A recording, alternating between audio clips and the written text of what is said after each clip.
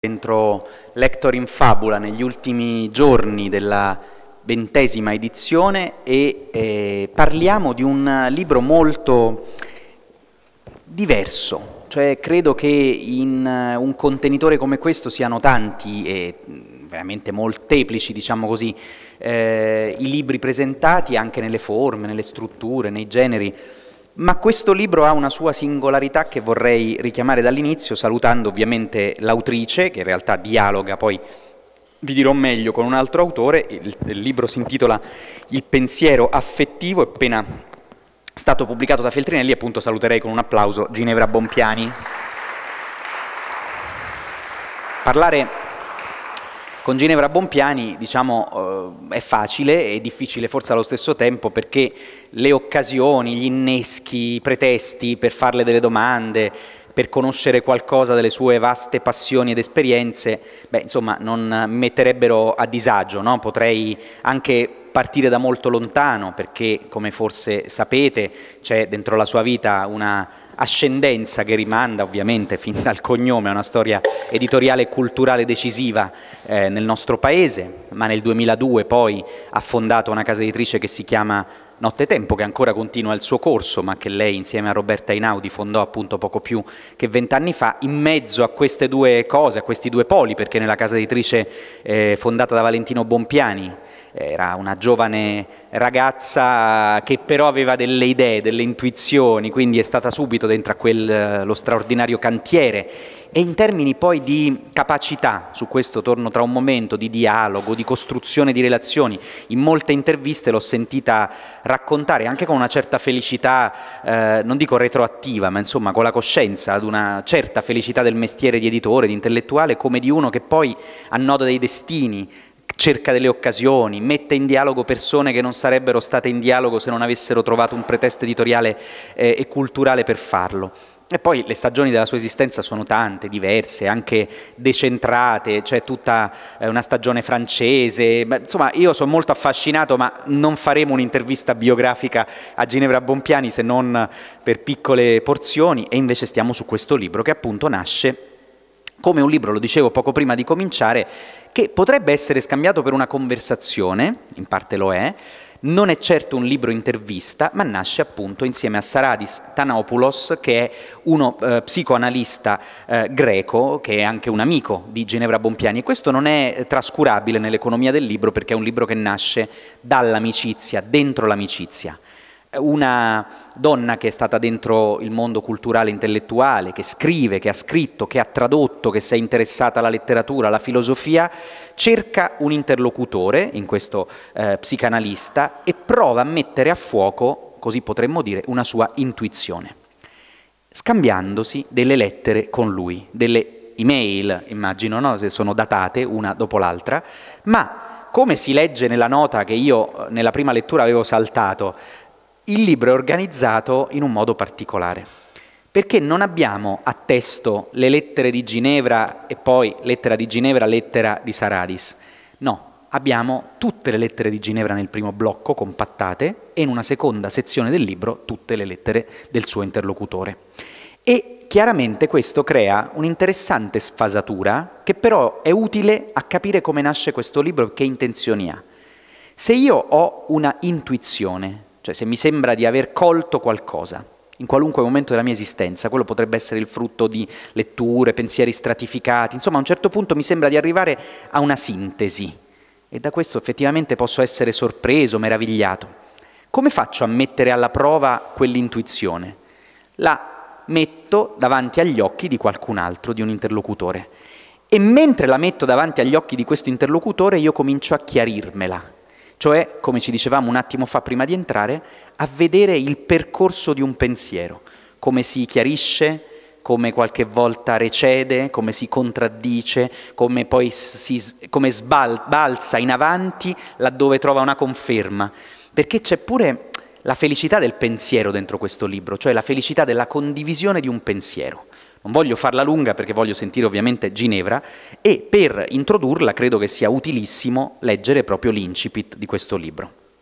Caro Saradis, da quando abbiamo deciso di scrivere questo libro insieme mi domando come faremo, se ce la faremo, se capiremo, capirò davvero qualcosa che non avevamo capito prima. Io voglio, non dico sorprenderti, ma magari spiazzarti un po', Ginevra, e mi fermo qua, cioè completo poi la lettura che avevo in mente, che è di ovviamente 5-6 righe, e quelle immediatamente successive toccano il centro del, del discorso, il pensiero affettivo, perché voglio chiederti una cosa su queste prime tre righe, che uno potrebbe leggere pure rapidamente, invece voglio risottolinearle. Dice, mi domando come faremo, se ce la faremo, se capiremo, capirò davvero qualcosa che non avevamo capito prima. Cioè, questo mi è sembrato sorprendente nella sua trasparenza, perché mette di fronte a me, lettore, la possibilità che un libro mi consenta di capire qualcosa che non ho capito.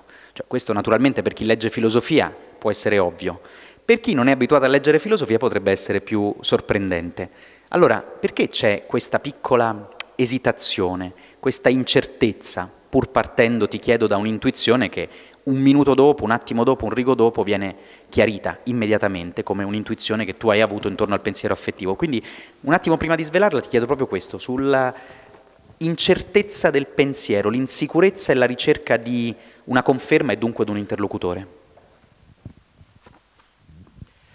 Sì, eh, mio amico Saradis, che ama molto l'amicizia e praticare l'amicizia in tante forme, voleva che scrivessimo un libro insieme. E, ehm, e io ho detto va bene, pur, e gli ho proposto come tema una frase che mi aveva attraversato e che mi aveva attraversato come un'evidenza. Io, io non credo all'argomentazione, io credo all'evidenza. Certo l'evidenza non dura tanto, ma il momento in cui appare è fiammante, è indiscutibile. Ma dopo però, man mano che si stempera un po', cominci a chiederti ma che voleva dire? E così io ero di fronte a questa cosa di cui non dubitavo che fosse vera, ma non sapevo bene che cosa, che cosa avessi inteso, che cosa volesse dire. Posso dirla adesso la frase? Puoi dirla, certo, così la sveliamo. la frase è, ma dopo tutto l'affetto è una forma del pensiero. Se tutto è pensiero, anche l'affetto è pensiero. Ma questa frase eh, urta contro tutta una tradizione che dice il contrario e giusto appunto questa tradizione è la tradizione psicanalitica cui, eh, che è il grande riferimento del mio amico Saradis. Perché per la psicanalisi, per Freud, quello che nasce prima è l'affetto. Eh, il pensiero nasce dall'affetto. Invece, secondo questa mia evidenza, che non è nemmeno un'intuizione, perché un'intuizione è una strada, ti fa andare avanti, mentre un'evidenza ti dice una cosa e tu eh, ci credi ma non sai poi né andare avanti né perché ci credi. Eh, ecco, secondo questa invece, secondo me quindi, il pensiero nasce prima dell'affetto. Ora, voi sembrerà magari una questione di lana caprina, ma non lo è. In realtà è importantissima. Perché se il pensiero nasce dall'affetto. Da cosa nasce? Dall'emozione, evidentemente. Cioè l'idea è che l'emozione eh, diventi pensiero. Ma l'emozione è una cosa selvaggia, è qualcosa che non controlli, che è la tua intimità più grande, ma non è tua, viene da fuori.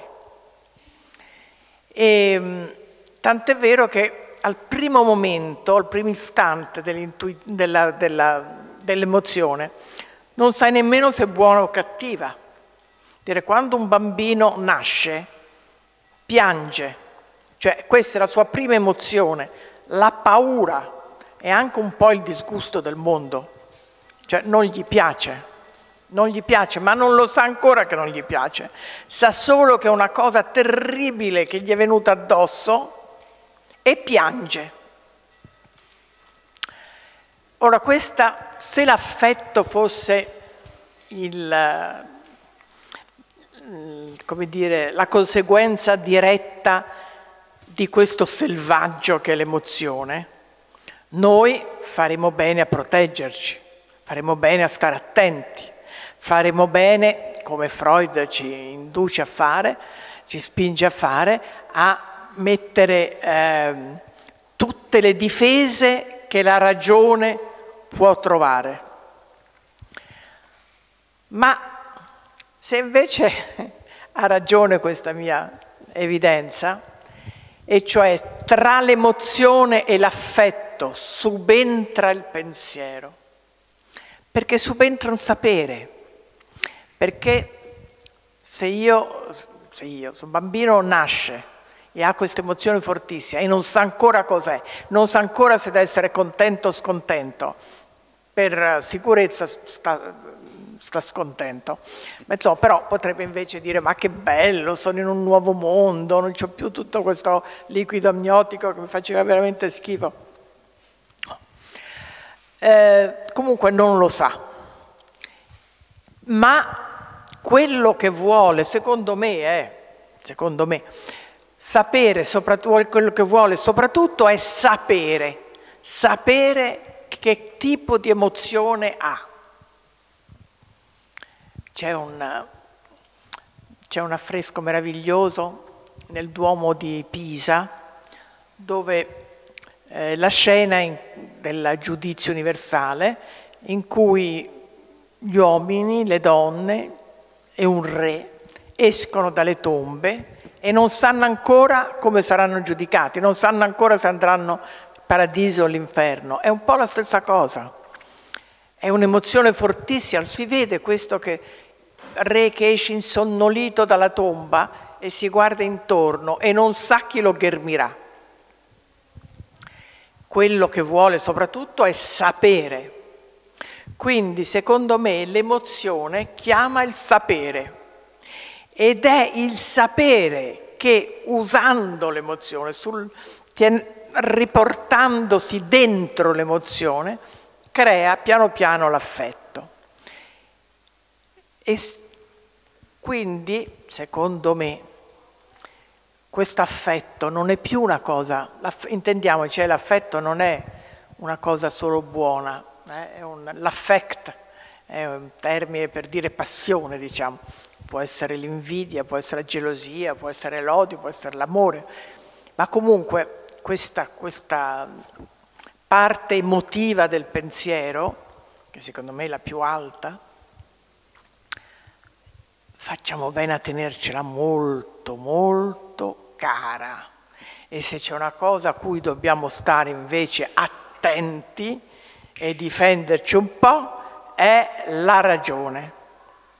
Giustamente Calderon della Barca diceva il sogno, il sogno della ragione produce mostri.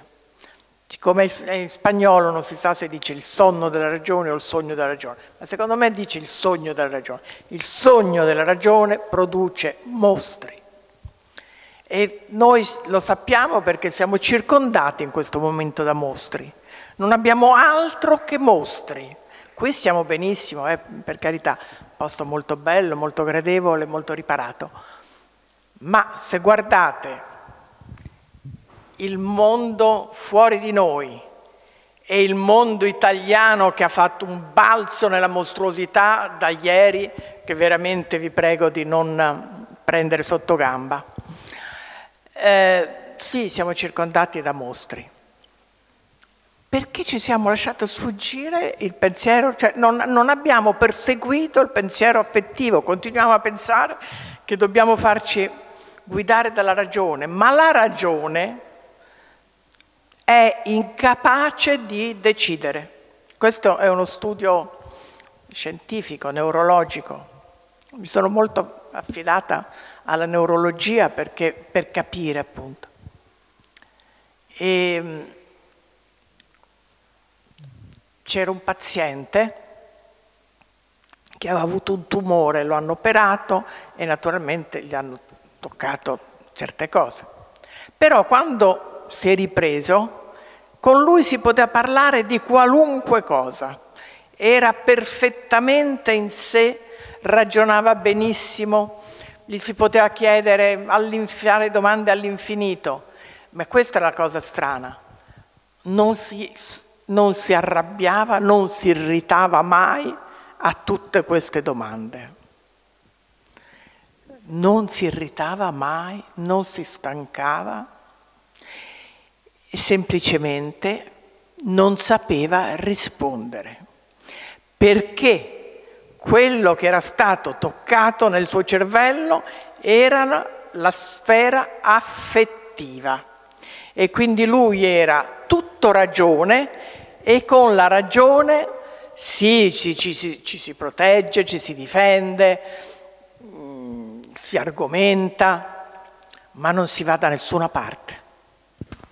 Ecco, come avete capito è un libro di filosofia, eh, non nel senso della pretesa della categoria eh, come genere editoriale o culturale, è proprio che è filosofia in progress, cioè è un tentativo che fa un essere umano di capire qualcosa che, come dicevi tu, sì, hai usato la parola intuizione, ma è vero che tu stessa, proprio nella prima pagina, dici evidenza, perché è qualcosa che si squaderna luminoso davanti a te e ti sembra che sia tutto così incredibilmente chiaro. È proprio quando lo passi al vaglio di una ragione capziosa che quello si ricontrae, quindi devi rintuzzare, devi provare a, a rischiarirlo, no? a rischiararlo. E lo fai però procedendo con un alleato e questo mi sembra tipico della filosofia, no? perché tu stessa usi la metafora o del palleggio, della camminata, parli di una camminata in cui uno sente i passi anche un po' fangosi, no? pesanti, vorresti correre ma eh, ci sono appunto gli ostacoli di un raziocinio, di un pensiero che corregge quell'evidenza. E quindi poco dopo, ma ormai l'hai svelato, l'affetto è una forma del pensiero, dopo, poco dopo quella espressione dici, beh, avrebbe anche potuto venirmi a rovescio, il pensiero è una forma dell'affetto, sarebbe stata più chiara, dici al tuo interlocutore, tu come analista me l'avresti spiegata. Ma se tutto è pensiero, nei termini in cui l'Apostolo Giovanni dice in principio era il logos e dunque tutto sta dentro il pensiero, allora l'affetto ne è una forma. E vi leggo queste cinque righe che avevo in mente che stanno più un po' più avanti. Dice così, Così chiediamo poi a Ginevra Bompiani di incarnare questo ragionamento perché ci porta anche nel pieno del presente e dell'attualità, anche se sembra un libro stilizzato, diciamo, no? di riflessione, invece poi ha, ha molte aperture su, su, domande che potremmo farci sul mondo circostante e su che cos'è il mondo circostante. Se invece l'affetto, tu scrivi, è una forma del pensiero e dunque non una forza primigenia, ma la forza che gli dà le ali, lo guida e lo dirige, non una spina nel fianco della ragione, che anzi è proprio la ragione a trattenerlo con i denti e le unghie, ma la pienezza del vento, la rotondità dell'orizzonte, la maturità della strada, se è tutto questo, sul suo cammino infestato dai banditi il nostro compito sarebbe sgombrargli la strada, togliere le erbacce, aprire le radure, lavare il suo corpo. Qua è pagina 40 e io mi sono trovato di fronte forse all'evidenza, non nei termini in cui l'avevi eh, colta tu, ma mi hai aiutato a sentire questa evidenza, perché che cosa fai? E ti lascio ovviamente spiegare. Metti in relazione la tua evidenza con qualcosa che la incarna. Parli di un viaggio, il viaggio di Francesco in Palestina, parli di personaggi letterari e dici il pensiero affettivo non è così eroico, è qualcosa di molto invece più, boh, non so, quotidiano da un certo punto di vista. Siamo noi che qualche volta lo, lo freniamo, gli impediamo a questo pensiero affetto, a questa forma del pensiero affettiva di squadernarsi, di prendere possesso dello spazio intorno a noi. Perché siamo ostili, ti chiedo, ma vai insomma per la strada che preferisci, siamo così ostili al pensiero affettivo? È perché appunto non riusciamo a, a governare fino in fondo la ragione, la, la pressione della ragione? Perché quella ci diventa nemica? Perché, perché siamo governati dalla paura. Quella prima emozione del bambino, dell'infante appena nato, era un'emozione di paura. E questa emozione della paura, io penso sia forse non solo l'emozione primigenia, ma l'emozione forse più importante che abbiamo, che ci, più ci governa, non più importante perché migliore, anzi è la peggiore, ma perché ci governa. E noi siamo governati dalla paura e la ragione è il nostro alleato, almeno crediamo che sia la nostra alleata. E, e invece non è così, è invece vero il contrario. Quello che, come dicevo, la ragione non sa fare, non sa decidere. E quindi quando la, la paura si affida alla, regio, alla ragione, non sa più decidere qual è la sua paura, di che cosa deve aver paura. E noi tendiamo, secondo me, ad aver paura quasi sempre delle, delle cose sbagliate. E per esempio, appunto, abbiamo paura del pensiero affettivo, invece, cioè abbiamo paura del caldo, invece di aver paura del freddo. Tra l'altro questo mi fa pensare molto al tuo libro, che è proprio su questo, sul, sul freddo affettivo e sul freddo reale. Qui anche tu potresti dirci qualche cosa. E, ehm, sì, questo penso anche se il pensiero affettivo appunto può essere, può essere l'invidia, può essere mm, la gelosia, può essere, può essere la rabbia per esempio. La rabbia è molto calda, so, essere... però ci dà una strada. Poi questa strada non è asfaltata, questa strada sarà anche scomoda da, da percorrere, ci sono i sassi, caschi, inciampi, però è una strada. Il pensiero affettivo ci dà la nostra strada. La ragione no. E poi anche un'altra cosa, che il pensiero affettivo secondo me mente meno della ragione. La ragione è una gran bugiarda, perché visto che non può decidere, non è neanche ben sicura di cosa sia vero e cosa sia falso. Per capire il vero dal falso ci vuole il pensiero affettivo. E vi sarete accorti che nel nostro tempo quasi nessuno distingue più il vero dal falso. Per esempio, quasi tutto quello che ci viene detto in questo momento è falso. Ci vengono anche dette delle cose vere, ma noi crediamo a quelle false, ci piacciono di più, ci piacciono di più quelle false. Ma se uno ti obiettasse in modo anche rozzo, però vediamo come riesci a parare l'obiezione, secondo me sei molto brava a farlo, anche quando ti vedo eh, dialogare con persone quasi infrequentabili in televisione. Senza quasi. Per, qua senza quasi, però mi piace come difendi con eh, energia, diciamo appunto, la tua dimensione di pensiero affettivo, controcorrente, controtendenza. Se uno ti obiettasse rozzamente, ma signora Bompiani, ma non le sembra che questo sia quindi un libro anti-illuminista se l'illuminismo come processo storico è stato quello di liberare la ragione contro presunte tenebre di qualcosa che ha a che fare con i sentimenti che chiamiamo, tra l'altro un po' deprezzandoli, viscerali, no? questa emotività che comunque lasciata a se stessa sarebbe invece obnubilante, la ragione ci salva. Come, come si può smontare questa ipotesi che tu sia diventata o sia anti-illuminista? Beh, non è che mi offendo se mi dai dell'antilluminista. Ok, va bene così. se per quello non mi piace neanche la, la rivoluzione francese. Eh, l'illuminismo ci è sembrato meraviglioso perché era eh, portato, portato avanti, che brutta espressione, eh, insomma era portato in mano, era da esseri meravigliosi, da scrittori meravigliosi, ma pensa a Diderot. Era un illuminista Diderot, ma secondo me no, secondo me eh, Diderot era un esempio chiarissimo di pensiero affettivo. Voltaire, Voltaire era un illuminista, beh insomma, sì, era, era un liberista.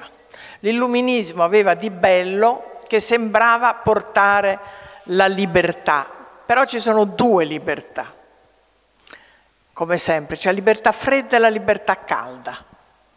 La libertà fredda è quella che eh, Freud, per esempio, preconizza.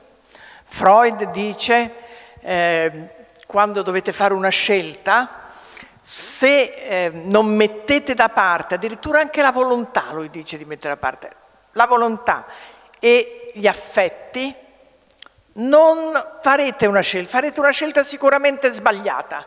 Dovete metterli da parte e invece lasciare emergere la ragione e eh, è lei che deve decidere. Abbiamo già visto che la ragione non è in grado di farlo. Eh, l'illuminismo si difendeva Beh, si è difeso contro dire, il romanticismo, certo che aveva anche i suoi problemi. Non è che il pensiero affettivo o che gli affetti o che le passioni non abbiano dei grandissimi problemi. Certo che ce l'hanno, ma sono vita, sono la nostra vita e la ragione non lo è. Eh, questo è molto molto interessante e provocatorio proprio nel, nei termini dell'etimo, cioè ti tira fuori qualcosa e ti fa vedere in un modo diverso. Non è detto che uno alla fine del libro debba essere d'accordo con Ginevra Bompiani e anzi, come vi dicevo, la cosa interessante è che poi c'è la seconda parte del libro, in cui eh, Saradis Tanopoulos parte con qualche perplessità sull'evidenza di Ginevra e questa è la meraviglia di questo libro, cioè lo leggi, prima leggi la sua, il suo cammino ma non sai che cosa lui le ha detto. E poi leggi lui. E poi ti accorgi che lui, sollecitato dalla tua evidenza, arriva a delle conclusioni che comunque la accolgono, in un modo naturalmente specifico, suo, con i suoi strumenti di psicanalista, con le sue letture eh, filosofiche, ma diventa questo libro, non so se ti ritrovi in questa uh, ipotesi mia, quasi involontariamente una messa in evidenza pratica del pensiero affettivo, perché queste due persone si parlano secondo codici di un pensiero affettivo, cioè mettono, a un certo punto si legge proprio in modo esplicito quello che sto cercando di dire e che ho sentito leggendo, è proprio il fatto che siano amici che li mette nella condizione di verificare l'evidenza del pensiero affettivo, altrimenti non saprebbero procedere come procedono, perché c'è una distanza che è marcata dalla geografia, ma c'è un'alleanza strategica che è prima emotiva che intellettuale, cioè il presupposto di questo libro è una, un riconoscersi amici,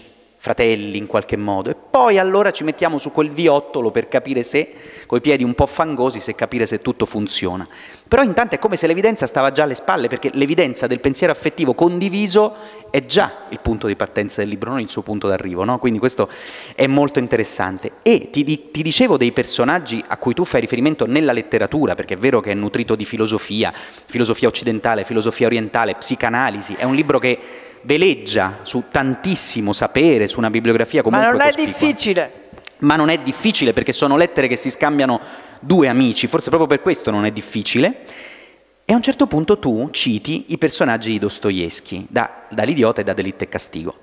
Ti chiedo, visto che è solo un rigo, però dici, allora eh, Rogoin, Mishkin, Sonia, e allora questi, perché dici allora loro, eh, che sembrano come dire, nella convenzione proprio i personaggi più arresi all'affettività, quelli più a volte addirittura, pensa a Mishkin, più soverchiati dalla potenza del pensiero affettivo, perché indichi loro come fossero dei, non dico modelli, ma insomma come dei, boh, degli indicatori morali?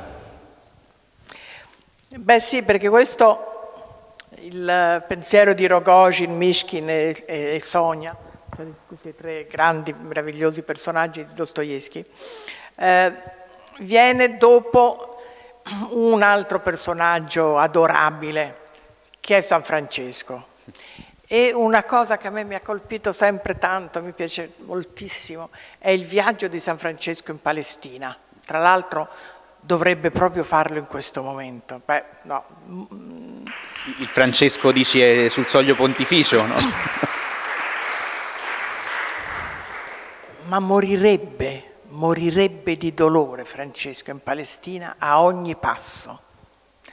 Perché lui è andato in Palestina a piedi naturalmente, eh, durante mm, le crociate e veniva accolto dai crociati che tutti trionfanti gli dicevano abbiamo vinto, abbiamo vinto, vieni a vedere e lo portavano nei campi dove lui vedeva tutti questi morti ed era disperato. Dice, ma come abbiamo vinto? Ma come? Ma cosa avete fatto?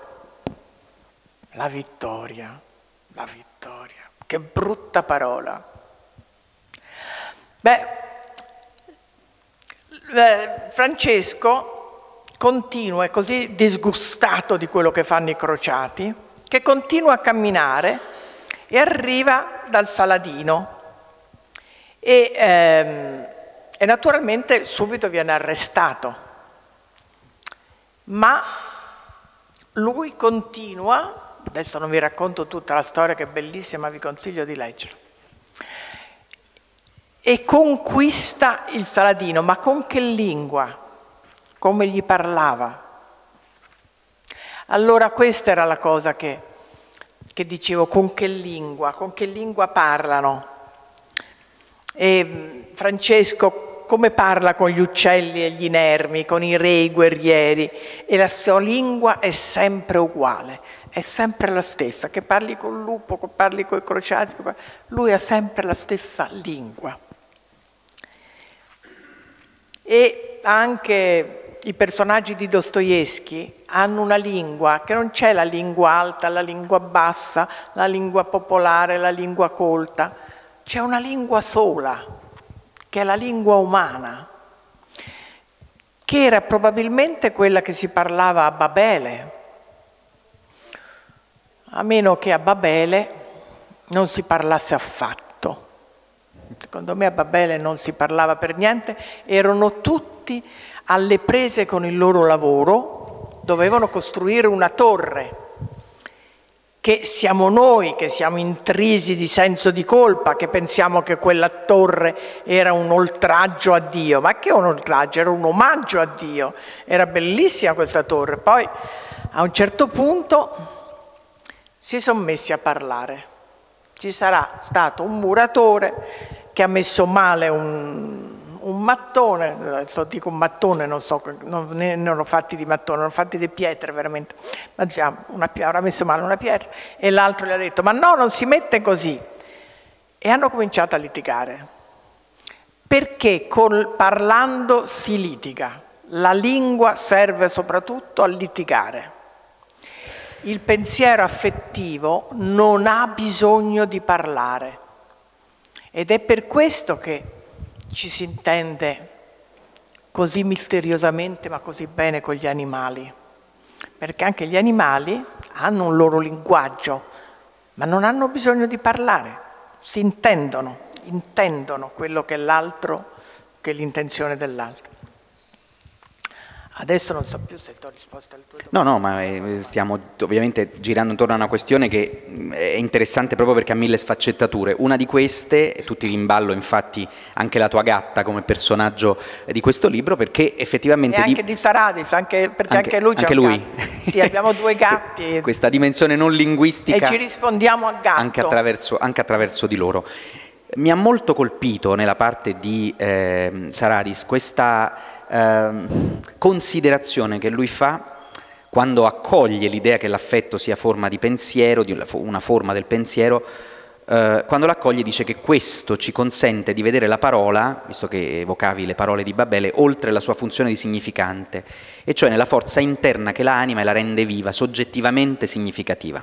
Ecco la prova del pensiero affettivo che presiede al vostro libro. Conversando, dice lui, la forma di dialogo che è privilegio degli amici, i nostri affetti si incontrano, si intendono, l'intesa è sempre affettiva, gli accordi vengono dopo, anche questo risuona parecchio col contemporaneo, e le nostre parole ci dicono ciò che il loro campo semantico scientificamente studiato non consentirebbe mai loro di dire.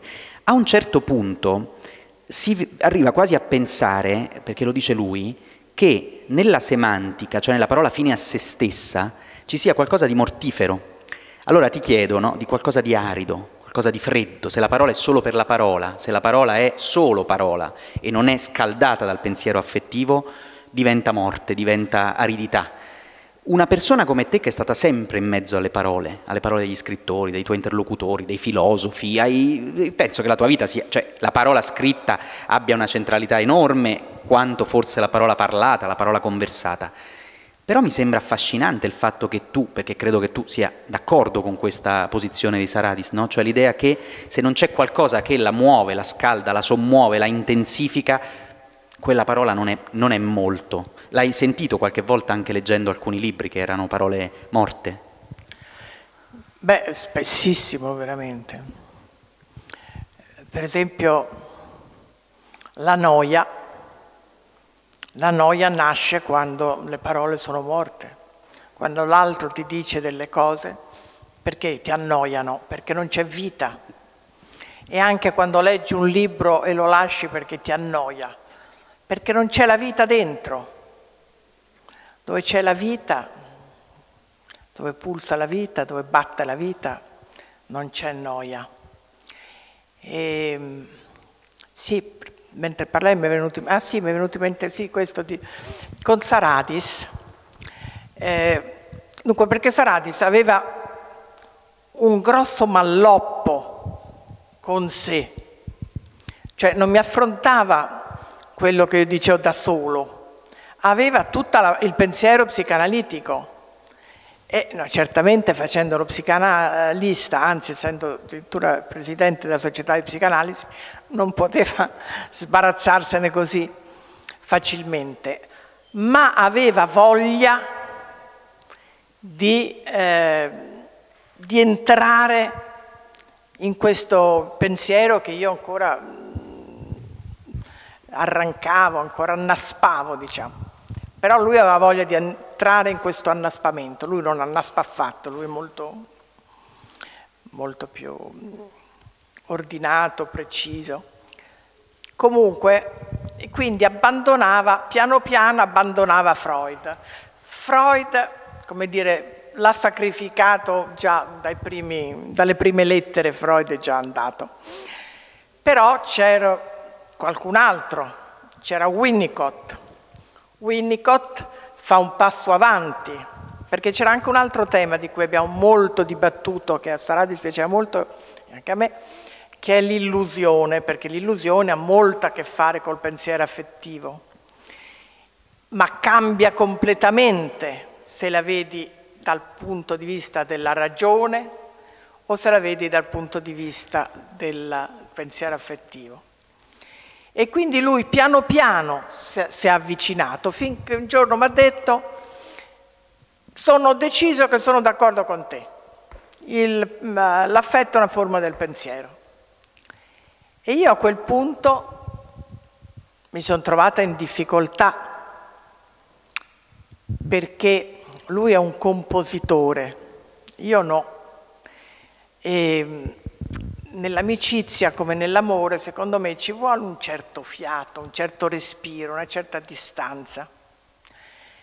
E quindi ho voluto riprendermi la, la distanza, quindi sono scappata un po' indietro, in modo che nel nostro avvicinarsi, allontanarsi, avvicinarsi, ci fosse sempre, scorresse sempre l'aria, perché l'aria, secondo i greci, è la vita.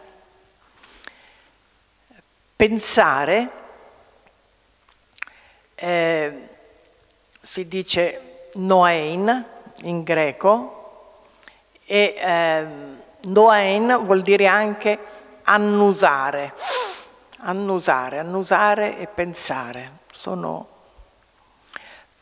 Cioè veramente il pensiero è legatissimo al corpo, proprio nasce, nasce dal corpo e, e poi, come dire, porta, porta fuori il pensiero.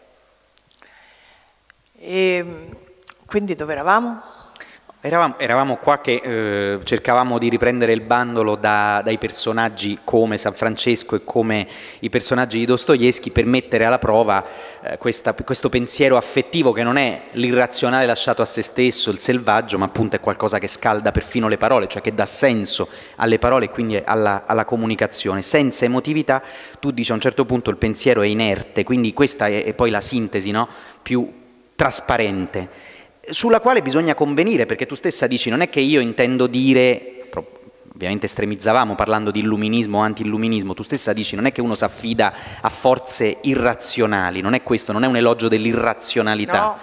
è, e qui ti lascio appunto glossare, un, una capacità, e, e usi la metafora dell'arco e delle frecce, per cui il pensiero si compie nell'affettività, si completa, arriva al bersaglio nel senso però che diventa qualcosa che, che, che crea, qualcosa che realizza, qualcosa che è oltre che affettivo per giocare con le parole, effettivo, altrimenti è forse davvero astrazione, qualcosa di fine a se stesso se non entra in una dimensione di, di relazione per l'appunto. Eh, volevo, visto che siamo alle battute quasi finali, eh, provare a portarti eh, appunto sul terreno della contemporaneità che, da cui questo libro diciamo, è toccato per lampi, perché chiaramente è scritto in un certo momento storico, noi lo riconosciamo dalle, dalle date, eh, viene fuori il caldo, un acciacco, il Covid, non è che sia un libro impermeabile a quello che ovviamente avviene. No. Ed, è, ed è a maggior ragione interessante per questo, perché un dialogo si svolge nella vita, no? non fuori dalla vita, no? quindi continuamente tutti e due richiamate um, la gatta, la lettura fatta, il Covid, una cosa che succede così nell'esistenza quotidiana.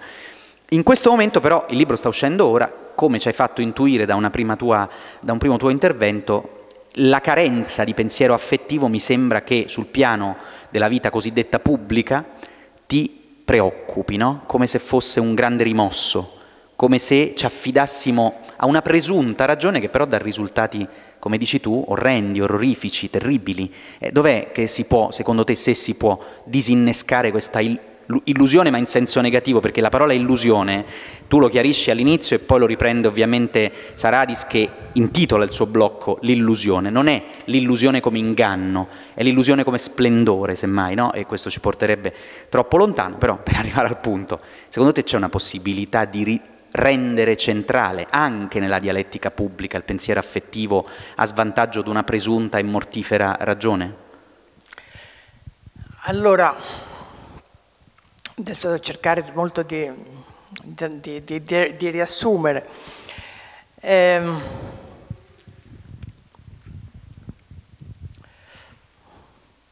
allora, prendiamo illusione. Mm? Per Freud la realtà è la delusione. È così. Noi ci illudiamo, e cioè ci inganniamo, secondo Freud, ma non dobbiamo, non dovremmo illuderci. Noi dobbiamo, e grazie all'analisi, eh, riusciamo, per fortuna l'analisi questa cosa non ci riesce, ma insomma, eh, attraverso l'analisi dovremmo riuscire a veramente disilluderci ed arrivare così alla realtà. Ora, Secondo me è tutta una strada sbagliata, perché alla realtà non ci porta la disillusione, ma ci porta l'illusione. Perché l'illusione se le inventa la realtà e poi ti ci porta. Senza l'illusione la realtà non ne avresti proprio idea. No, pensate, pensate all'amore, è possibile innamorarsi senza illudersi? Dunque, per Freud la realtà è la delusione. Certo che ce l'hanno, ma sono vita, sono la nostra vita e la ragione non lo è. Eh, Questo è molto molto interessante e provocatorio proprio nel, nei termini dell'etimo, cioè ti tira fuori qualcosa e ti fa vedere in un modo diverso. Non è detto che uno alla fine del libro debba essere d'accordo con Ginevra Bompiani e anzi, come vi dicevo, la cosa interessante è che poi c'è la seconda parte del libro, in cui eh, Saradis Tanopoulos parte con qualche perplessità sull'evidenza di Ginevra e questa è la meraviglia di questo libro, cioè lo leggi, prima leggi la sua, il suo cammino ma non sai che cosa lui le ha detto. E poi leggi lui e poi ti accorgi che lui, sollecitato dalla tua evidenza, arriva a delle conclusioni che comunque la accolgono, in un modo naturalmente specifico, suo, con i suoi strumenti di psicanalista, con le sue letture eh, filosofiche, ma diventa questo libro, non so se ti ritrovi in questa uh, ipotesi mia, quasi involontariamente una messa in evidenza pratica del pensiero affettivo, perché queste due persone si parlano secondo codici di un pensiero affettivo, cioè mettono, a un certo punto si legge proprio in modo esplicito quello che sto cercando di dire e che ho sentito leggendo, è proprio il fatto che siano amici che li mette nella condizione di verificare l'evidenza del pensiero affettivo, altrimenti non saprebbero procedere come procedono, perché c'è una distanza che è marcata dalla geografia, ma c'è un'alleanza strategica che è prima emotiva che intellettuale, cioè il presupposto di questo libro è una un riconoscersi amici, fratelli in qualche modo, e poi allora ci mettiamo su quel viottolo per capire se, coi piedi un po' fangosi, se capire se tutto funziona. Però intanto è come se l'evidenza stava già alle spalle, perché l'evidenza del pensiero affettivo condiviso è già il punto di partenza del libro, non il suo punto d'arrivo, no? quindi questo è molto interessante. E ti, ti, dicevo dei personaggi a cui tu fai riferimento nella letteratura, perché è vero che è nutrito di filosofia, filosofia occidentale, filosofia orientale, psicanalisi, è un libro che veleggia su tantissimo sapere, su una bibliografia comunque Ma non cospicua. è difficile. Ma non è difficile perché sono lettere che si scambiano due amici, forse proprio per questo non è difficile. E a un certo punto tu citi i personaggi di Dostoevsky, da, dall'idiota e da Delitto e Castigo. Ti chiedo, visto che è solo un rigo, però dici, allora eh, Rogojin, Mishkin, Sonia, e allora questi, perché dici allora loro, eh, che sembrano come dire, nella convenzione proprio i personaggi più arresi all'affettività, quelli più a volte addirittura, pensa a Mishkin, più soverchiati dalla potenza del pensiero affettivo, perché indichi loro come fossero dei, non dico modelli, ma insomma come dei, boh, degli indicatori morali? Beh sì, perché questo, il pensiero di Rogojin, Mishkin e, e Sonia, questi tre grandi, meravigliosi personaggi di Dostoevsky, eh, viene dopo un altro personaggio adorabile, che è San Francesco.